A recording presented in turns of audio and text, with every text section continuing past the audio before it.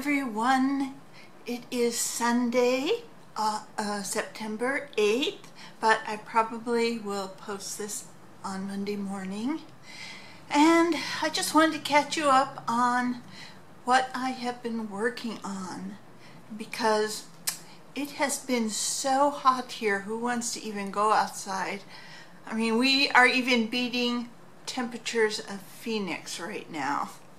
So, um, let's see, on Thursday it was 112, Friday was 113, today was 108, yesterday I think was 106, tomorrow's supposed to be 105, 106, we'll see.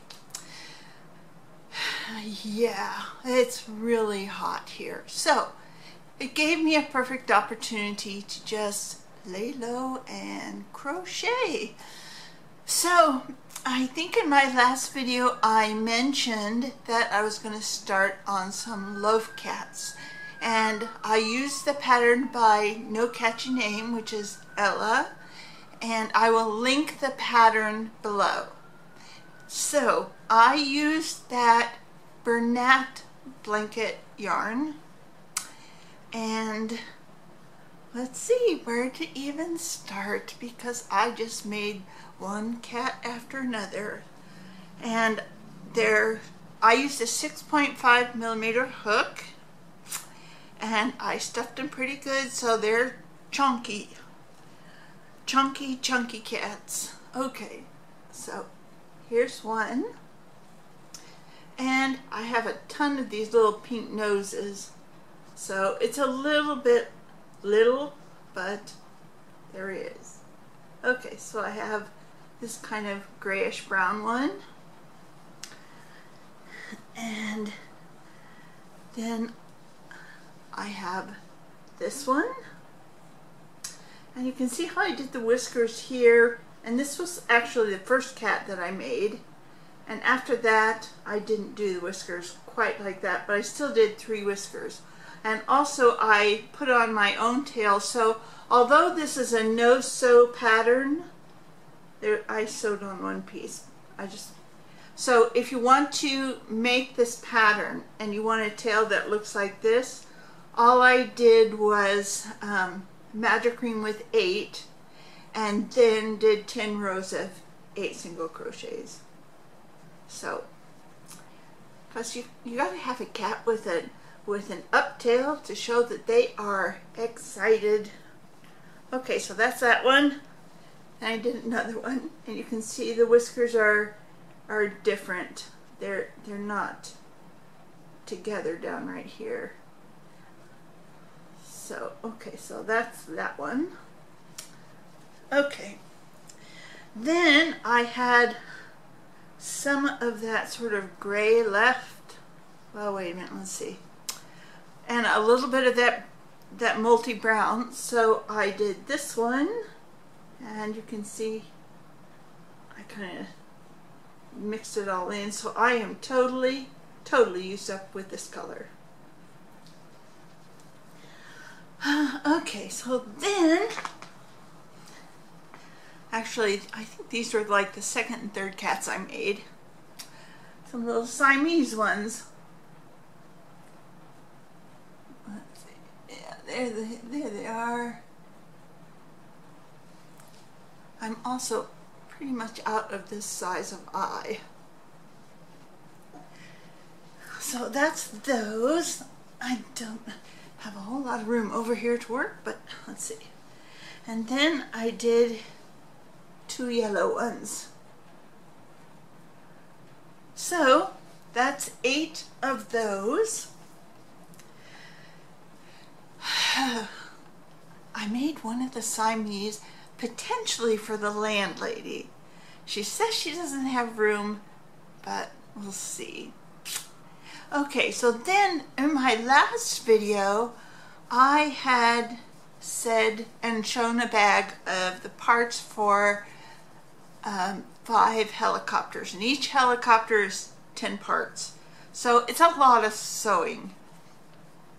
Um, but then yesterday and Saturday, no wait, yesterday was Saturday. So let's see, Friday and Saturday, um, I was listening to a Christian conference online on prophecy. It was really excellent. Lots of great speakers. And um, I decided, well, while I'm listening, got to redeem the time. So I was either crocheting um, a loaf cat or I was um, putting together the helicopters. So uh, I have five helicopters that are all put together. Here's one. Whoops. Here we go. So you can you can see it. Um, here's a nice little yellow one. Let's see. Then I have another blue one, but with brown highlights. And let's see. Oh. Here's a minty green one. I think that, yeah, that's the minty green. And then I have a red one. So that has been my crocheting. And then I've been wanting this one gal's patterns for a while, but I was just waiting for the right price on one of her books. And I I never I don't think I ever buy you or brand new. I only buy used. So the price was right on this one. I don't know how to pronounce her name, but I'm sure some of you have seen this book. Um, Sweet Crochet Friends. So it's a very heavy book. It's very well put together, um, very good quality paper, and lots of illustrations and good diagrams. Like here's here's Lily the lamb. I don't see where's where's her title. Oh, her title's over there, Lily the lamb. Anyways, um, Here's the back of it. Gosh, let's see. So, there's another one of her books I still want to get. Waiting for the right price on that one. So, we'll see. That's the way it is in the used market. You just have to bide your time till you get the price you want.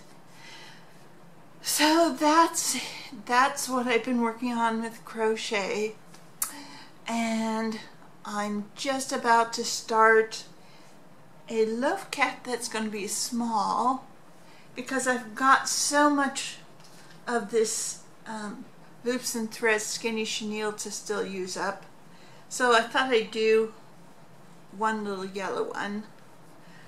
And then I'm, I've got a bunch of hair ties that I will make some scrunchies out of. And those will be going to my great nieces. And I think that's kind of it for the moment. So this is just a short video just a quick update and I just want you to know that I appreciate all of you that come by and watch the video and, and leave a thumbs up.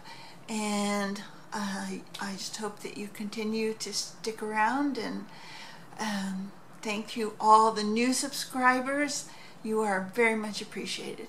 So have a great rest of your week. It's going to cool down here, let me tell you. Uh, in fact, by this time next week we'll be about 30 degrees cooler. Thank goodness. Actually, you know, September is our hot summer month. But we don't really go into fall until November. That's our fall. So we only have three seasons in Southern California. Spring, summer, and fall. There isn't really a winter. But I hope you all have a great rest of the week and I will catch you on the next one. Bye-bye.